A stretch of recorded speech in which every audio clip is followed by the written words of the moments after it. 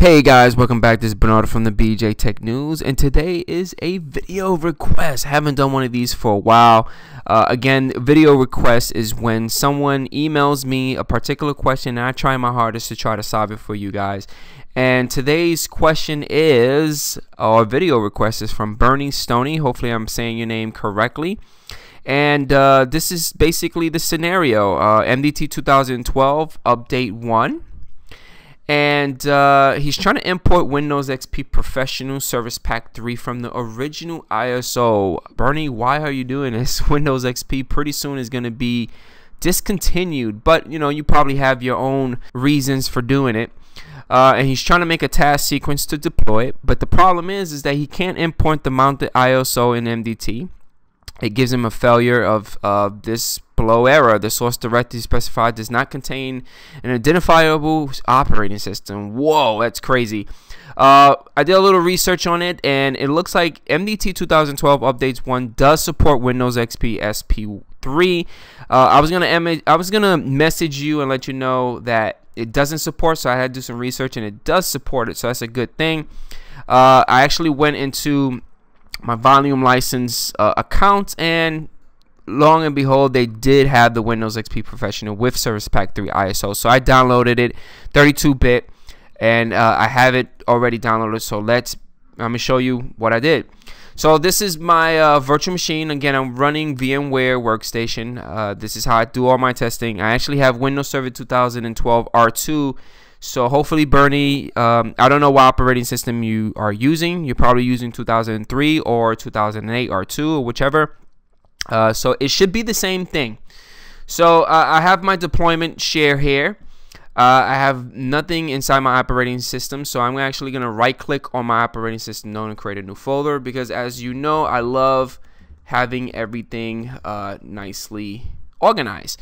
And this is uh, SP3 and it's 86 and I'm going to hit next.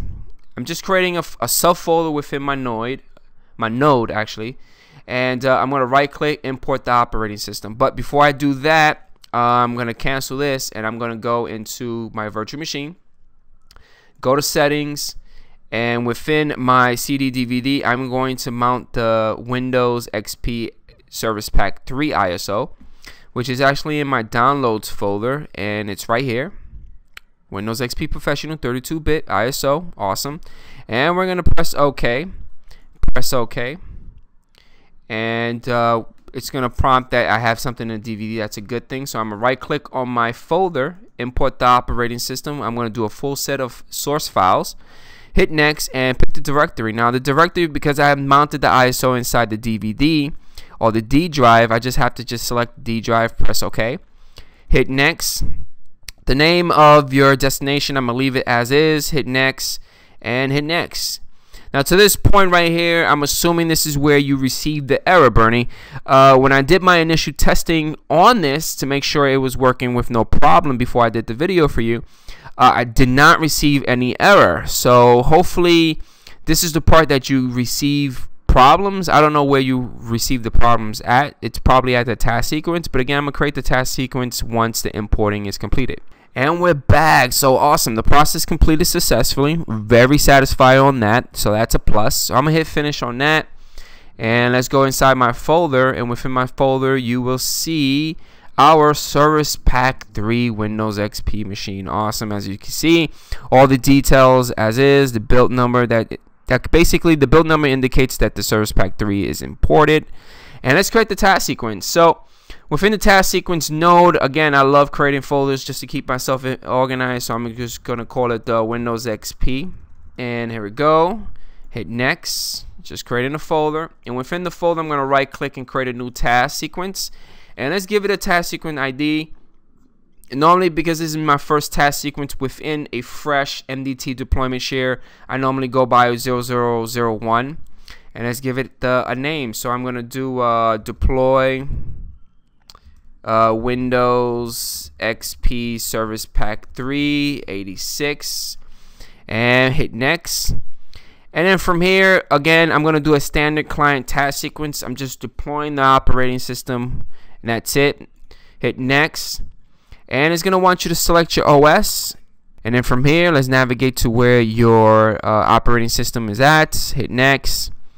Now, you have to specify a product key for the operating system. This is one of the things that the Windows XP does. You know, when you place the DVD inside the machine, you boot from the DVD old school Windows XP style, it prompts you for the serial key. If you did not place the serial key within the Windows XP deployment time, Windows XP would never never finish the installation. I kind of hated that a lot.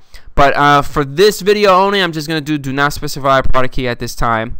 Uh, let's provide a full name. I'm going to call it uh, BJ Tech News, and organization is BTN Productions. And BTN, if you guys don't know, is BJ Tech News. And browser, most likely you're entering your company's browser. So I'm going to enter my site, which is bjtechnews.org. Hopefully I can spell it right.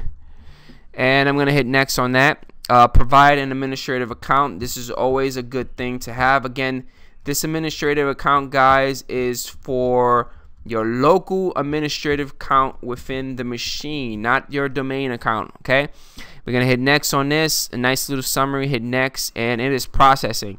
So the task sequence was created successfully on this part. So uh, hopefully this was kind of informative. I don't really know where the problem is at, Berni. So if you could just leave a comment right below and let me know where you were getting stuck because the importing was successful for no problem.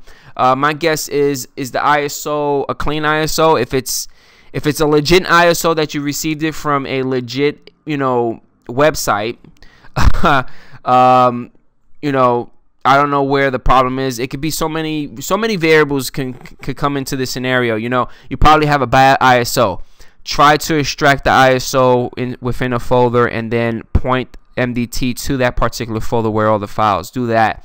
Uh, but again, I, I downloaded the ISO from my volume license center, imported it with no problem, created the task sequence. Hopefully, uh, hopefully this is kind of informative to you, Berni. Uh, if you have any comments or questions, leave them right below. And for those that are still using XP and you want to do it with the MDT, this is how you guys import the operating system as well as create the task sequence. And hopefully you guys uh, enjoy your day. And uh, don't forget about hitting that like button and catch you guys on the next video. Peace out.